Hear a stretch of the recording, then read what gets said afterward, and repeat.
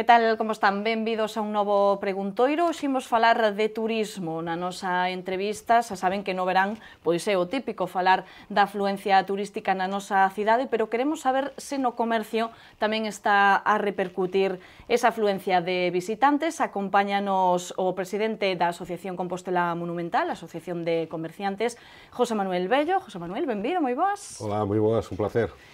Pois, como decimos, En verán sempre toca falar moito de, do turismo, é certo que levamos todo o verán falando de que hai moita xente na rúa, moito turista, sobre todo no casco histórico, pero non seguiu se está repercutindo, se está deixando o beneficio agardado no comercio. E, e concretamente no do casco histórico, porque é donde, como dicimos, donde se donde conflúe máis os visitantes. Non? Bueno, eu estou moi satisfeito coas cifras que se están baraxando últimamente. Eu vexo a cidade plagada de turismo, con olor a peregrino, uh -huh. con ese aroma del peregrino que nos acompaña diariamente. Eu penso que as cifras están a ser moi boas, o nivel de ocupación foi eh, bo, uh eh, -huh. e, bueno, as tiendas traballaron, non? Polo tanto, as terrazas, os restaurantes, vexo que ciertos días, puntualmente, pois pode haber un pouco de subas ou baixas, pero puntualmente eh, temos que estar satisfeitos porque xa digo, en torno a 2.000 personas se sellaron outro día de Compostelas, uh -huh. e é un ambiente que se mantuvo, sobre todo un momento turismo estranxeiro, que a veces pues, ten un, pou máis, un pouquinho máis de poder adquisitivo, e a verdad que beneficia deixa diñeiro na cidade, o nivel de ocupación do hotelero, pois eu vexo que tamén estuvo un, un bo punto, non? Aunque mm. isto vai por barrios, como suele dicir e que precisamente eu facía a pregunta porque moitas veces vemos que están ateigadas as rúas, pero sí que é verdade que ao mellor non deixan moito beneficio na, na cidade. Por iso non sei se, se vostedes no, no comercio ven que hai turismo de nivel que que gastan aquí en, en Santiago? Bueno, todos Por lo menos que, algo, non? Todos os que nos visitan, temos que dar gracias que nos visiten, sempre deixan algo. Desde que compran unha auga, compran un helado, eh, pagan unha cama, etc. etc. De cada cama que temos hai un traballo detrás. De cada tienda que, que, que temos no casco histórico un restaurante hai moita xente que colabora nese sentido para beneficio tamén das propias familias e da economía. Por lo tanto,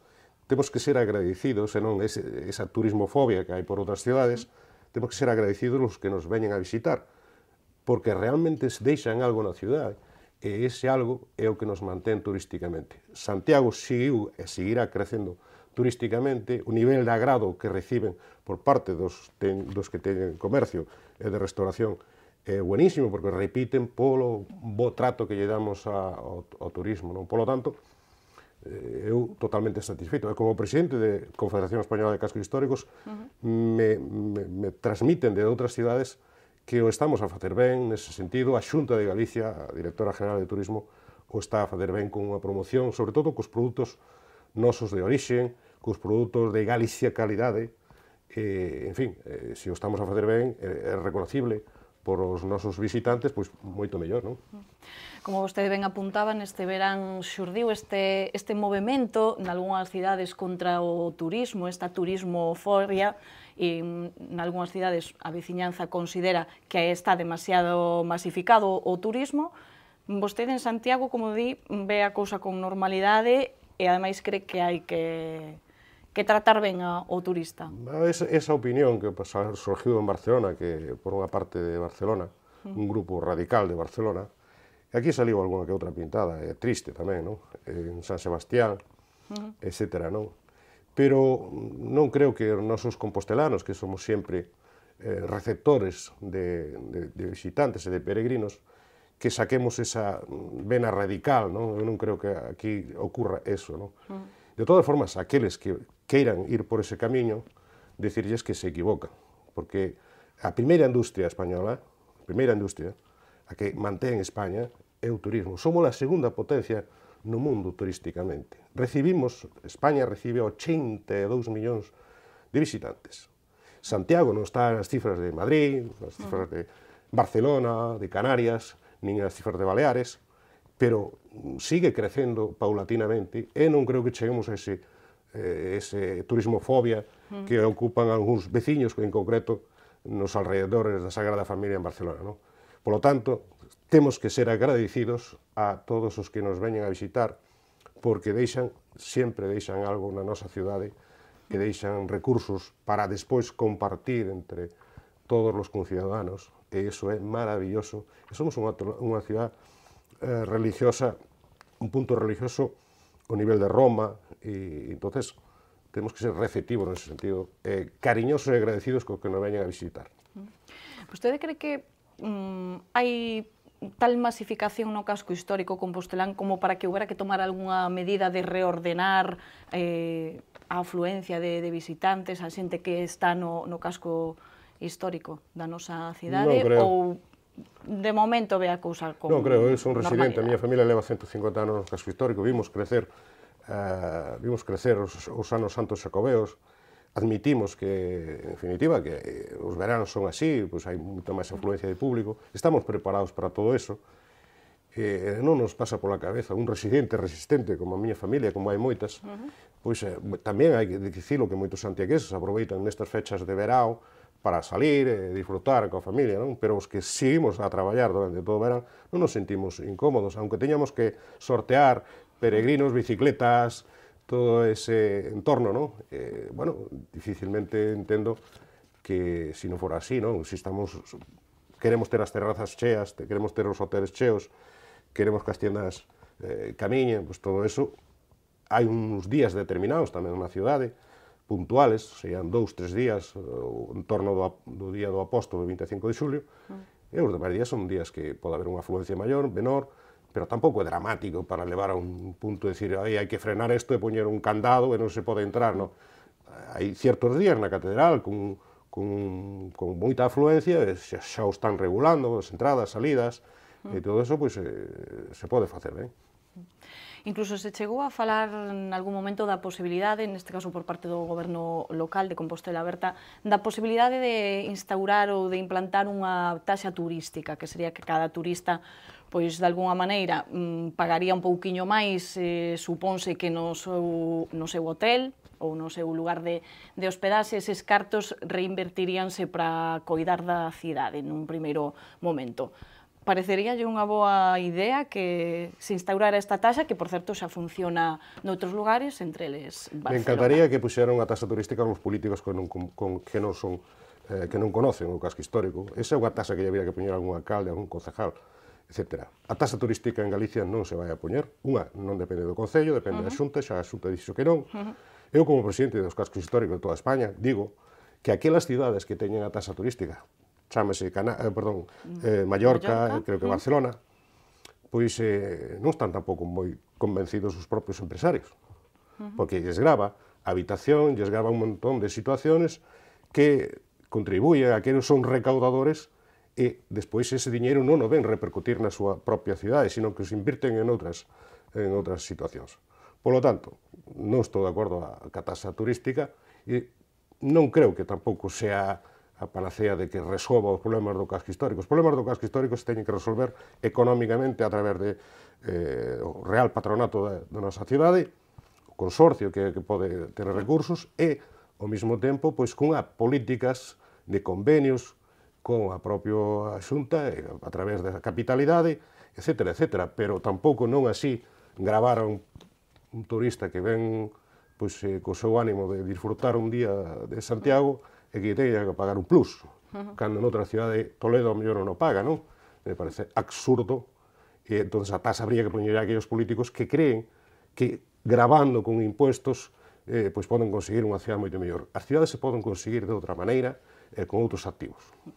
Cales serían, bueno, Clara, como ben vostede dicía, a Xunta deu para atrás a esa idea, dixo que non a esa taxa turística, pero cales son os problemas principais que ten agora o casco histórico? no, Bueno, ten moitos, o casco histórico ten moitos problemas, non? Ten un problema, por exemplo, eh, hoxe en San Francisco non había agua con, con potencia suficiente para ducharse en moitos hoteles, uh -huh. porque a medida que carga o seminario deixa sin a veciñanza sin presión de auga e, e nos temos que duchar casi a plazos, non?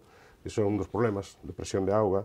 Hai problemas a veces en algunhas calles determinadas de papeleras, que é a imagen que temos que dar ao turista tamén, unhas suficientes papeleras, porque os nenos consumen moito helado e sempre as papeleras están a, a tope. Non?